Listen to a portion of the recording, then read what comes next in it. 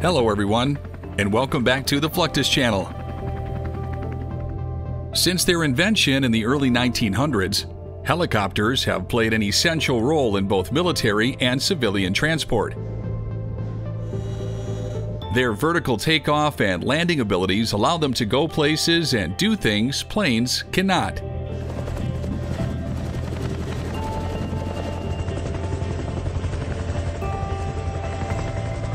Though many companies have contributed to the advancement of helicopter technology, manufacturers like Bell, Sikorsky, and Airbus continue to lead the way.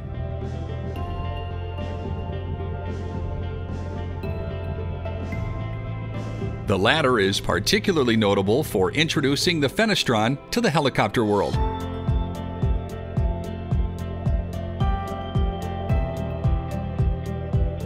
Airbus developed this enclosed tail rotor over the course of several decades. This feature differs from a traditional rotor in several ways.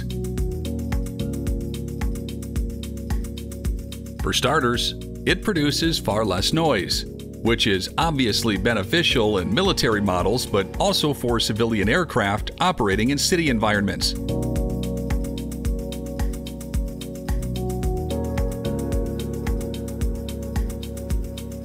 Fenestrons are also safer, as they minimize the chances that the spinning rotor will come into contact with any objects in the environment. Lastly, they provide improved performance.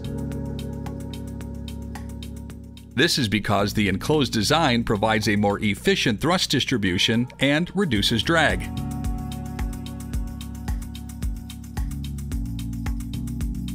In 2021, Airbus Helicopters introduced its latest model, the H160. This medium sized utility copter was designed to be highly versatile, making it suitable for everything from corporate transport and emergency medical services to offshore operations and more.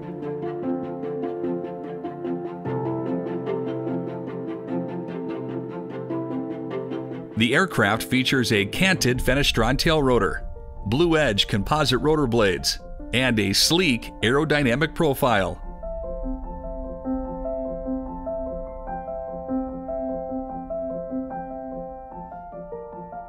All of these features contribute to reduced noise levels and improved fuel efficiency.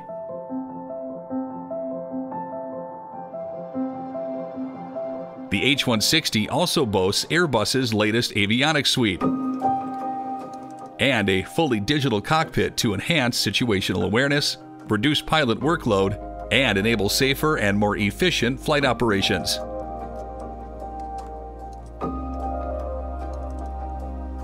Despite its relatively small size, the helicopter can seat 12 people very comfortably, and its interior can easily be modified for more luxury oriented purposes.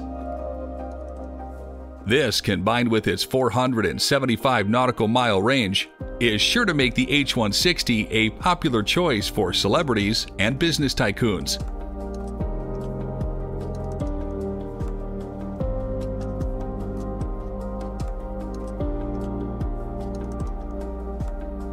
Another company at the forefront of helicopter manufacturing and technology is Robinson Helicopters.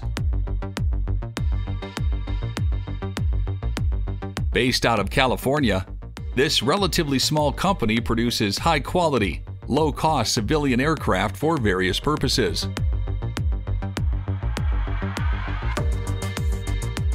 The company's massive production facility is nearly half a mile long, employing around 1,300 people to help assemble their helicopter models by hand.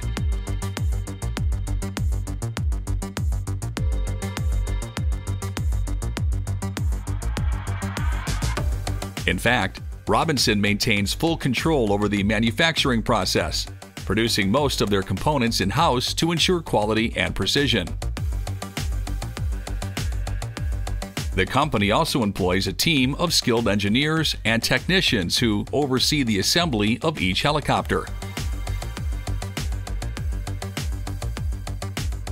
These men and women perform multiple inspections throughout the assembly process to ensure every model meets the company's incredibly high standards.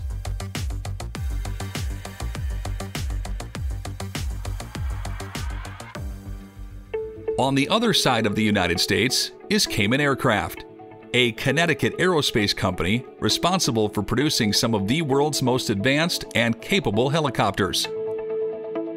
The company's signature model is the K-MAX, a highly efficient, heavy lifting copter known for its unique vertical design, intermeshing rotors, and a thin fuselage.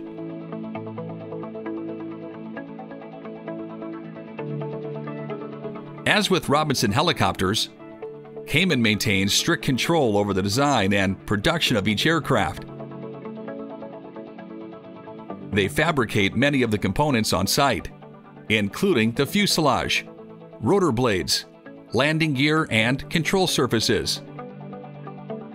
The K-MAX is then assembled by the company's skilled technicians and assembly workers who follow a systemic process to ensure proper integration of the various subsystems. The K-MAX is capable of carrying external loads of up to 6,000 pounds, despite weighing just 5,000 pounds. The key to the K-MAX's success is its unique twin-rotor design. These intermeshing rotors spin in opposite directions but are synchronized electronically.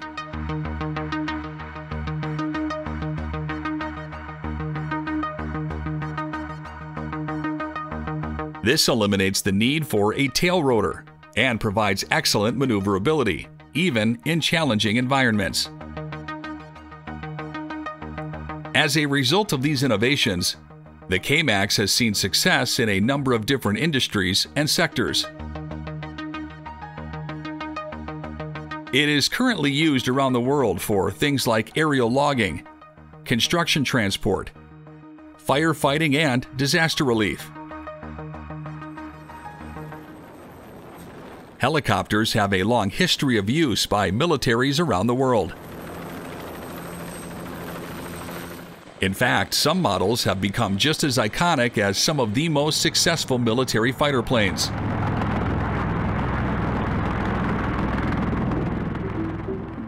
Though the manufacturing process is similar for both civilian and military helicopters, the latter are often held to different performance standards. The TH 73A is a military training helicopter designed for the U.S. Navy by Leonardo, an Italian aerospace and defense company. Since its introduction, it is often one of the first helicopters a new pilot will get the chance to fly.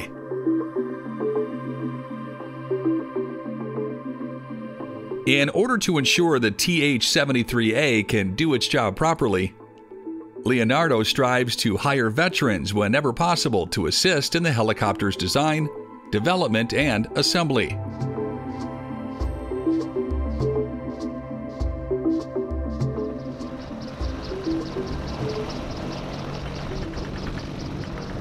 One of the most valuable helicopters in U.S. military history is the Boeing AH 64 Apache.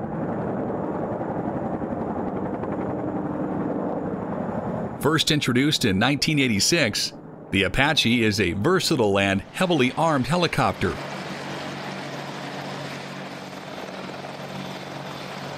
Designed for close air support, anti tank warfare, reconnaissance, and other combat missions.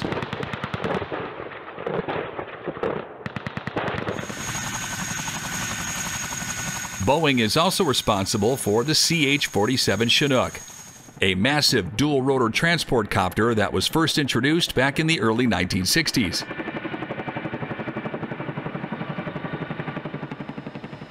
Nonetheless, the design proved so successful that new Chinooks are still being manufactured today.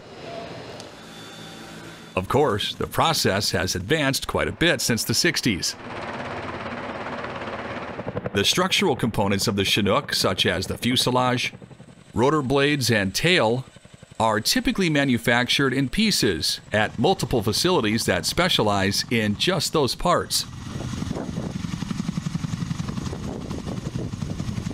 These are then shipped to Boeing's Philadelphia facility for final assembly, after which they are carefully painted to the appropriate color. From here, the last helicopter will undergo rigorous flight testing before it is shipped to the military. In the early 2000s, the United States military began working on an initiative to develop a family of next generation rotorcraft to replace aging helicopters across the fleet.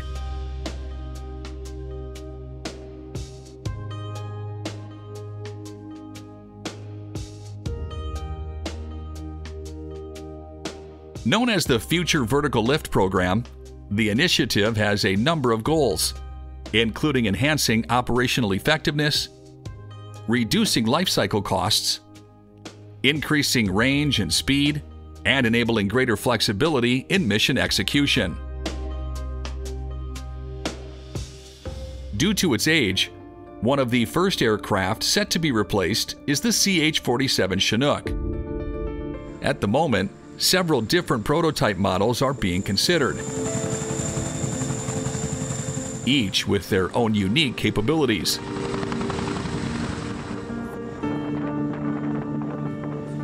From future attack and reconnaissance to long range transport, the more capabilities a single aircraft can boast, the better suited it will be for frontline action.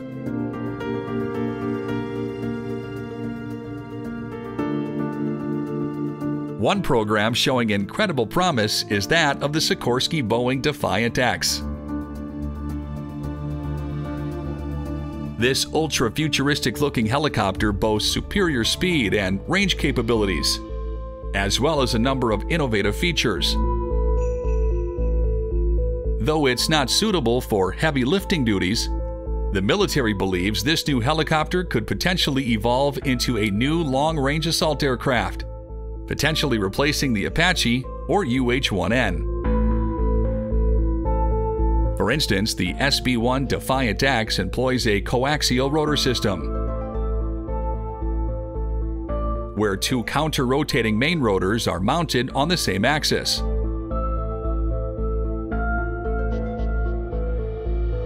eliminating the need for a tail rotor. This configuration also provides exceptional agility and enables high-speed forward flight without compromising maneuverability.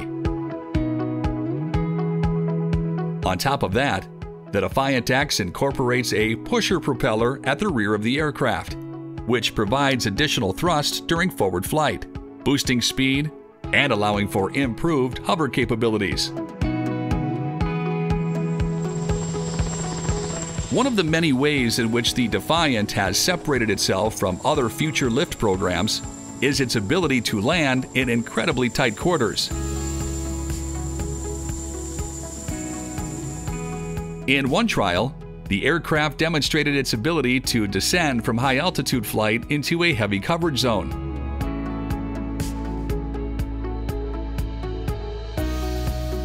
Because it can move so precisely, it can efficiently work its way around trees, buildings, and other obstacles, even at incredibly low speeds.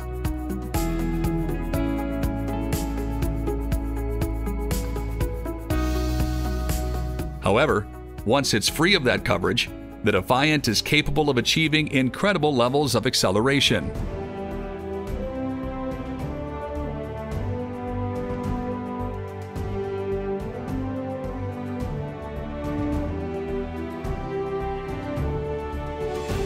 In one test, testers clocked the aircraft at more than 270 miles per hour.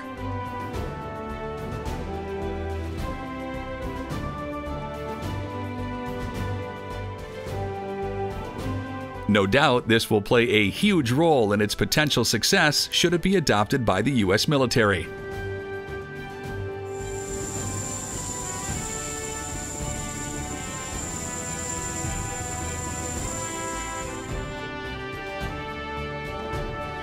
That's the end of this video. I hope you enjoyed it. Make sure to subscribe to this channel so you don't miss any of our new content. See you next time.